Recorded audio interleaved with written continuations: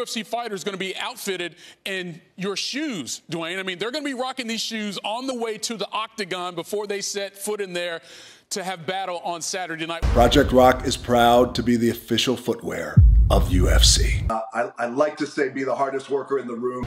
We are all the hardest workers in the room. The fighters, the men and women, they're the hardest workers in the room. I am the hardest worker in the room. And, and like you said, it's no joke. This guy's one of the hardest working guys on planet Earth. much for your time. Total professional with this one. These shoes fucking suck. Look at these shoes. They make me put this shit on.